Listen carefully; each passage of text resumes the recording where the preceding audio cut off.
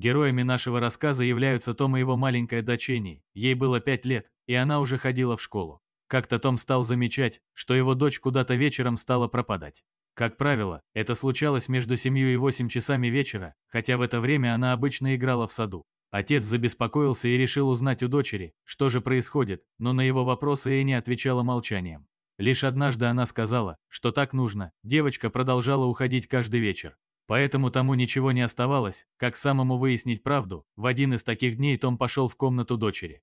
Войдя в ее комнату, он заметил на полу клочок бумаги. Оказалось, что это была записка, в которой говорилось о том, чтобы девочка пришла вечером в дом, который был за их двором. Также в записке указывалось время – 19.30. У Тома по телу пробежали мурашки. Если он раньше думал, что девочка убегает, чтобы где-то поиграть в саду, то теперь он не шутку испугался за дочь.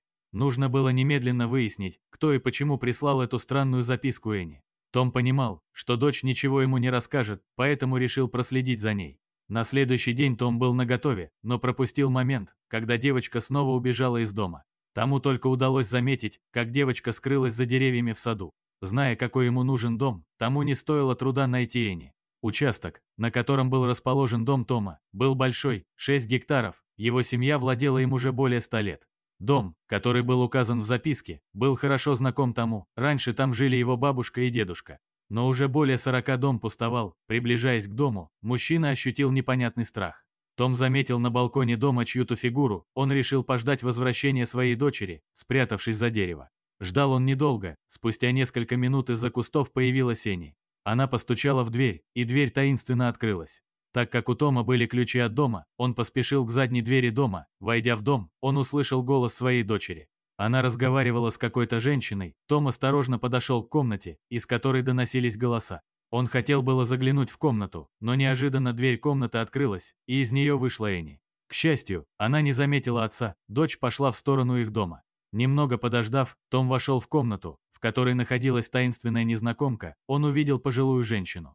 Испугавшись, она попыталась скрыться, но тому удалось задержать ее. Вот, что он от нее узнал, женщина была одинока и проживала в доме для престарелых. У нее не было ни друзей, ни родственников, так как они все уже умерли.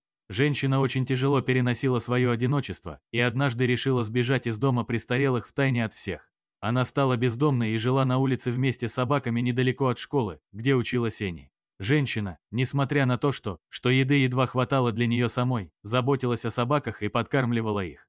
Так продолжалось до тех пор, пока она не познакомилась с Энни. У девочки, несмотря на то, что она была еще достаточно маленькой, было доброе сердце, она решила помочь бедной женщине. Энни рассказала ей, что на их участке стоит пустой дом, женщина может жить там в полной безопасности. Энни пообещала ей, что все сделает так, что об этом никто не узнает, это будет их тайной. Женщина перебралась вместе с собаками в старый дом и прожила там около месяца. Девочка часто посещала старую женщину. В последнюю неделю женщина осталась практически без еды, и Энни снова пришла на помощь бедной женщине. Она стала приносить ей и ее собакам еду из своего дома, Том был очень растроган рассказом пожилой женщины. Когда он вернулся домой, то увидел Энни, сидящую на стуле во дворе.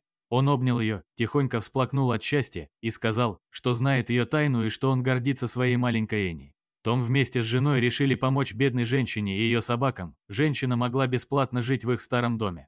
Кроме этого, она получала достаточно еды и для себя, и для собак.